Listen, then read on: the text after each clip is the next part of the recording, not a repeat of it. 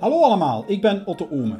Ditmaal een filmpje om in actie te komen tegen artikel 11 en artikel 13. Beter bekend op het internet als de linktax en de uploadfilter. De nieuwe versie van artikel 13 is er niet beter op geworden. Like they say in English, it even got worse. Ik leg je uit welke actie ik ondernomen heb en waar de informatie staat. Ik vraag aan iedereen die iets met het internet inzet om hetzelfde te doen.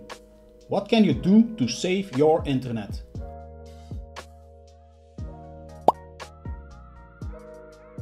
Kom op tegen artikel 11 en 13 en contacteer uw MEP's of MAPs, hoe zou het ook zeggen.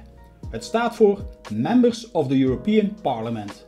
Alle gegevens staan ook in de beschrijving van dit filmpje. Je gaat naar de webpagina saveyourinternet.eu. Doe even de moeite om nog eens te lezen waarover het gaat. Je klikt op Act Now, dus kom nu in actie.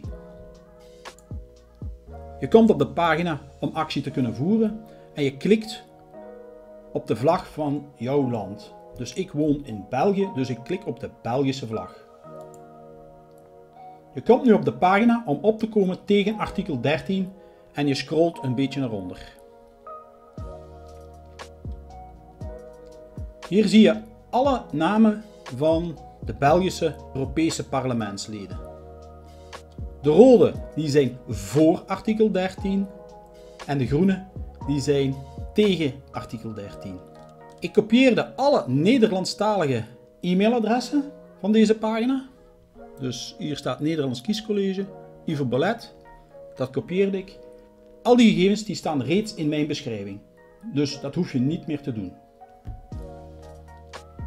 Ik vraag jullie om de nu volgende tips om een e-mail te schrijven zeker te gebruiken. Ten eerste, wees beleefd. Ik druk hier ten zeerste op. Maak geen bedreigingen. Politiekers zijn ook maar mensen, maar mensen met veel macht. Tussen haakjes. Ten tweede, maak een persoonlijke e-mail. Geef je naam, adres met postcode en telefoonnummer op.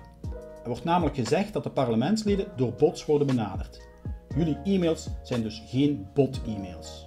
En ten derde, zeg waarom je niet wil dat artikel 13 wordt goedgekeurd.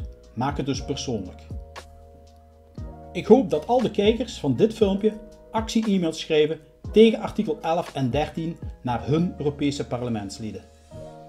De Belgisch-Nederlandstalige Europese parlementsleden die voor artikel 13 stemden, komen nu in beeld.